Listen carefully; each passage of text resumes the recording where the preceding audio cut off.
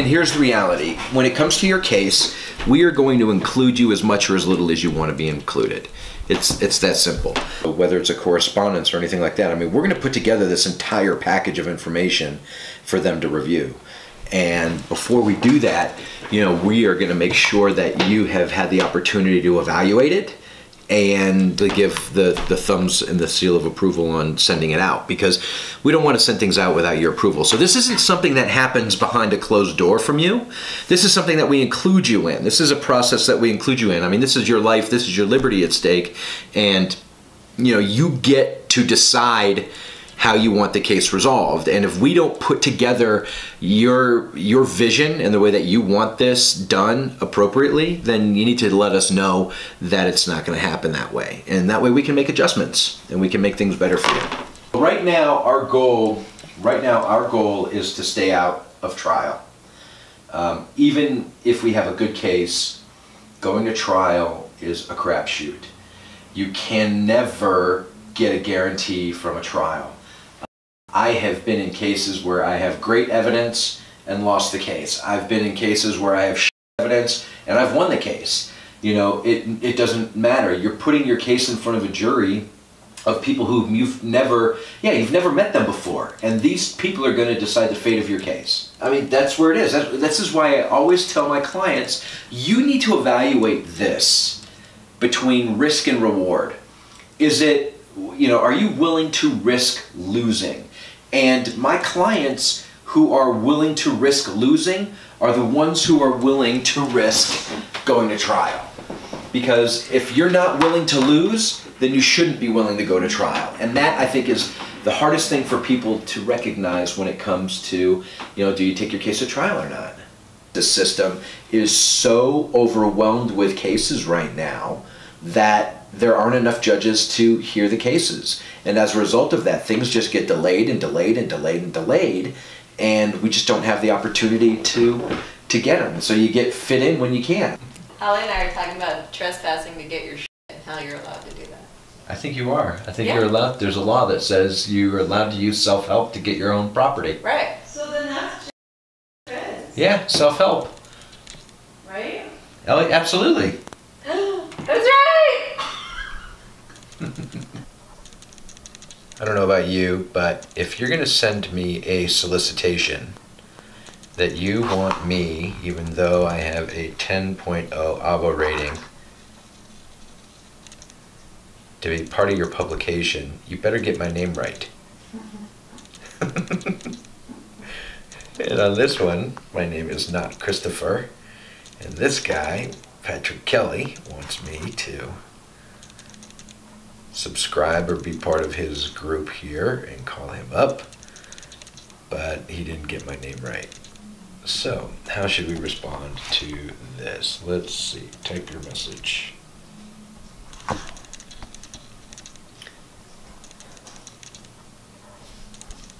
My name's not Christopher, period. Try again, period. Customer service is so important. Don't screw these little things up.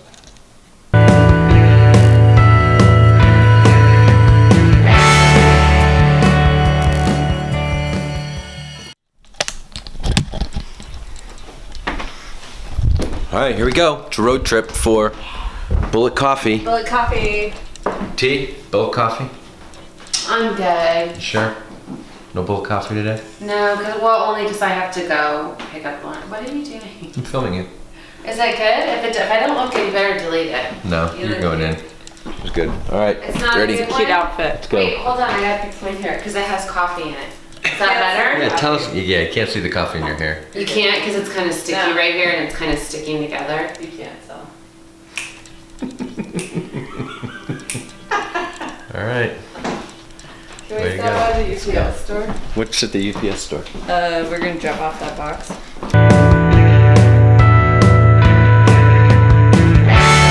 Oh wait, hey. Oh my gosh, that's hilarious. Want a bullet coffee? Why? She's very Maybe? Bullet coffee. Just say yes. Sure. Okay, we'll be back with it. Where's the UPS store? I don't know.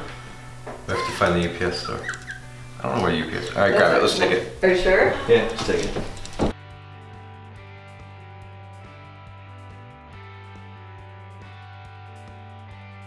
I'm doing that. Show our uh, our viewers. That's why how, I brought it outside. How awesome me. you are when it comes to recycling. Well, we're recycling those.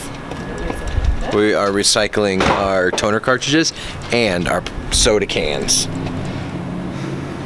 Card. We don't have a license for that. If you have music in your vlogs, better make sure you have a license for it. Otherwise, they will come after you. Little food for thought. Who's they? They, the copyright police. Oh. Good point. You know why? It's only 98 degrees. All right, where are we going first? Coffee Because first? the lawyers. Coffee first? Damn lawyers make life difficult. Coffee first and then?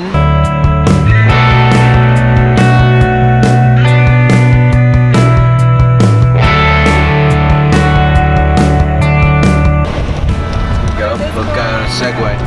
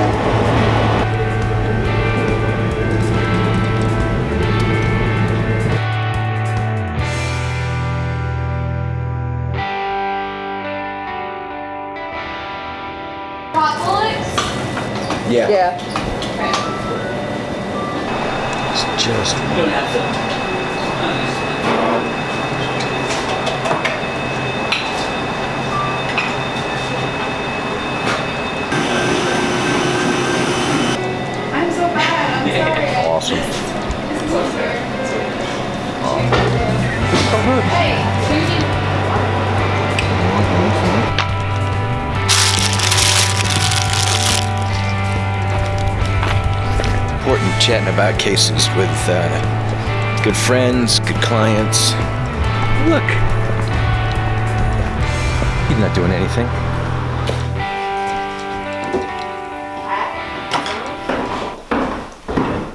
I know, I get it. But listen, I'm only gonna say this one more time. The reality of it is this if you ever decide you want to go to trial on something, you need to expect that there is an uncertain result involved if that you have to be willing to lose. If you can reach a resolution to the case, if you can reach a settlement, so to speak, then you can control the outcome. You can resolve it on terms that are favorable to you, perhaps. Putting the case in front of a jury, or even a judge for that matter, you don't have a guaranteed result. So you need to find some way to control the outcome and, and do what you can to get the best resolution possible to the case. That's really the best advice that I can offer you. So we're off and done with practice of law today, but uh, we're heading up to school now uh, constitutional law on. Okay, so here we are at the college. I'm going to teach uh, constitutional law tonight. Got to get this going. Lock this out. It's going to be a late night.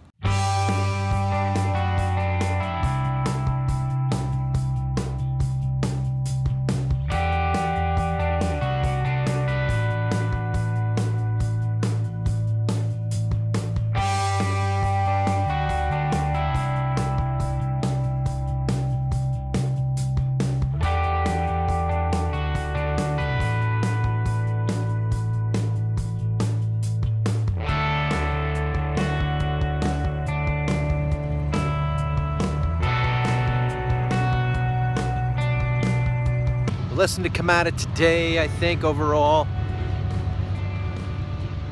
take your chances in court. I mean, I've preached this a hundred times, I think, over and over and over. You know, going to court, just can't control the outcome.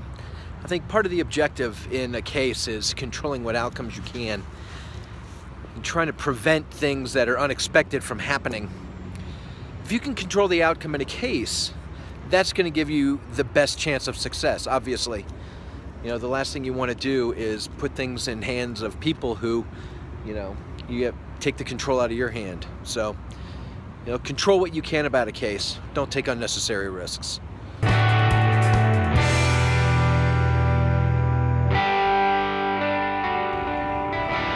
you like this video, please like it, please subscribe. please watch our other videos. Have a great night. Good luck.